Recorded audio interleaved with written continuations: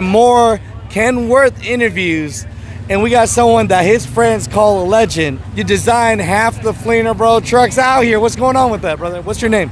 Uh, my name's Larry Lawhead. How are you today? I'm doing great. Thank you for this interview. You're very welcome. You know, I build a lot of trucks for people, and it's one of those things. I really enjoy it, and man, I've sold a lot of trucks to customers locally and everything else, and I do paint sketches, I do custom designs, all that stuff, and pretty much if you're looking for a W900L with a three color paint job, um, I mean, I'm I'm your guy to paint it. We built that for Fleener Brothers.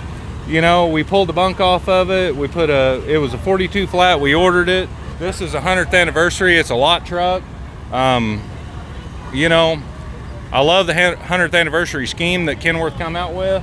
Thought it needed something different. I mean, so we did an old Peterbilt scheme, an old Winslow. So we